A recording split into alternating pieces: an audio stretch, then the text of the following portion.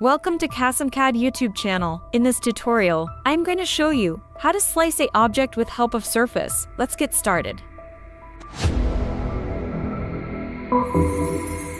Type C for circle command, select middle point of the circle, enter the radius of the circle.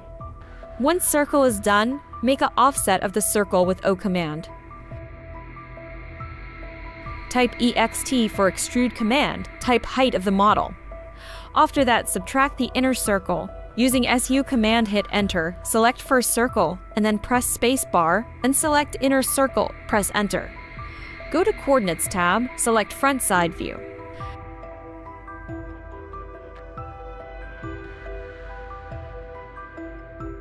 Draw arc with help of arc tool. Extrude that arc too to make a surface.